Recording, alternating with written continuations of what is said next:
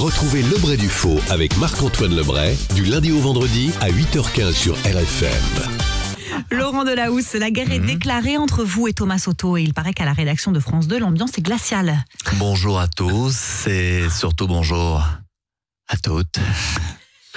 Caroline, vous me connaissez, si j'avais une devise, ça serait faites l'amour et pas la guerre, mais vu le physique de Thomas Soto, exceptionnellement, je vais choisir la guerre. Oui, car si je suis quasi un dieu, Thomas est quasi modo.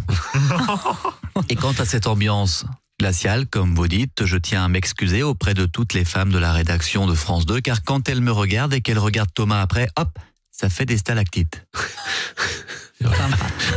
Julien Lepers, dans TPMP, vous avez apporté Ah votre oui. soutien à Pierre Palmade et vous avez déclaré Ah oui. que vous avez envie, vous avez envie de l'aider. Oui, oui, oui, oui, oui. Pierre Palmade a besoin de soutien. De soutien pour l'aider à marcher jusqu'à sa bagnole. Là, là, là, là, là, là, vous savez, Caroline, je sais ce que c'est d'être lâché par tout le monde. J'ai été tellement lâché que j'avais l'impression d'être un père.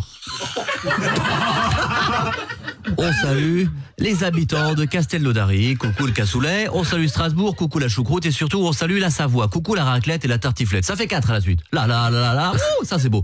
Mais pour en revenir à Pierre Palmade, je sais ce qu'il traverse. Il traverse une mauvaise passe et il traverse des pare-brises. On embrasse Franck Ribéry. Attention, le jeu. Je suis prêt à tout pour qu'on se rappelle de moi. Je veux bien soutenir Palmade pour passer dans TPMP, je veux bien soutenir PPDA pour passer aux 20h et je veux bien soutenir Albert Spano pour passer mes matinées à dormir. Je suis, je suis, moi Oui, bravo Les restaurateurs parisiens se plaignent de la forte baisse de fréquentation due aux poubelles sur les trottoirs. Philippe Etchebest, est-ce que vous avez un avis? Oh Alors déjà, mon avis, c'est qu'il y a des restos où leurs poubelles sont bien plus appétissantes que leurs cartes. Oh non D'ailleurs, Karim et son taco 16 viandes, là, si tu m'entends, crève. Bon, l'autre jour, là, j'étais dans un resto tranquille en train de faire pleurer une serveuse qui m'avait rien fait du tout et de pousser au suicide un cuistot pakistanais sans papier. Bref, un lundi, quoi. C'était inacceptable. L'état de la cuisine, les cafards eux-mêmes m'ont appelé au secours. Allô Philippe, aide-nous, c'est trop crado ici. Même nous, on n'ose pas rentrer sans le GIGN. Franchement, je croyais avoir tout vu dans ma vie. Ouais, je suis allé voir le spectacle de Julien Courbet. Mais là, c'était la putain de cerise sur le putain de gâteau là. J'étais tellement furax que j'ai mis une patate au stagiaire de troisième, putain. Le milliardaire Rupert Murdoch, propriétaire de l'influent groupe de médias News Corp, va se marier pour la cinquième fois à l'âge de 92 ans avec sa fiancée de 66 ans. Deus Sanctus, Courbi et Torbi, c'est quel est le moment de marier nos deux tourtereaux? Enfin, nos deux ptérodactyles, âge. C'est le moment de consentement. Signor Murdoch, acceptez-vous de prendre Signora Mademoiselle pour épouse? Il répète.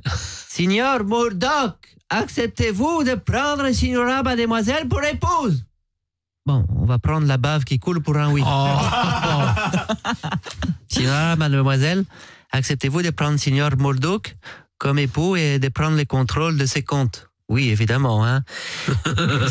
Maintenant, j'aurais-vous de vous aimer jusqu'à ce que la mort vous sépare, c'est-à-dire dans 3, 2, 1, 0. El nomine Patri et Filii Spiritus Sancti. Amen. Retrouvez Lebray du Faux avec Marc-Antoine Lebray du lundi au vendredi à 8h15 sur RFM.